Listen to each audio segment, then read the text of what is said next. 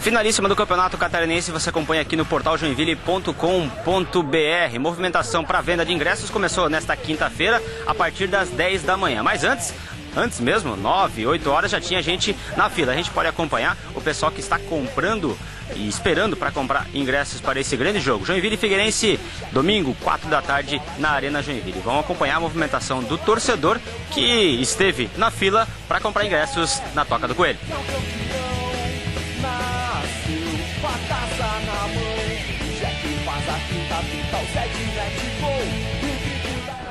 Todo mundo na fila aqui já esperando para comprar o ingresso, né? Quantos ingressos vai comprar? Eu vou pegar minha carteirinha de sócio nova e vou comprar o ingresso com o meu cunhado. Ah, eu vou comprar três ingressos, né? Uh, dois, né? Para os dois rapazes famosos aqui da arena, o Roberto e o Rafael, todo mundo conhece eles aqui, né?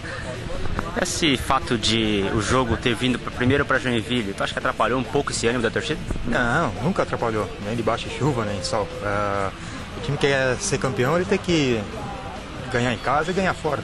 E não vai ser diferente, 2 a 0 para nós. Não, eu acho que não. Porque o que eu me lembro, em 83, 84, o Joinville também precisava uh, do empate lá na capital, no Scarpelli. Conseguiu os dois empates tranquilo. Foi campeão lá em 83 e 84. 2 a 0 título lá também. Vai trazer? Trazer do Scarpelli? Palco de festa, né? Vai ser lá então. Título de Joinville então. Ah? Título de Joinville. Com certeza.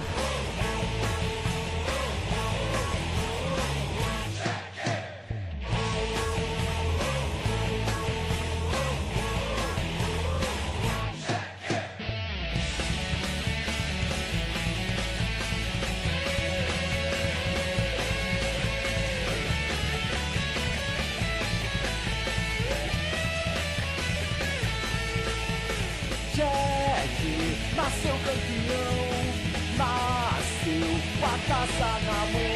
O Jack faz a fita, fita, o sete mete gol.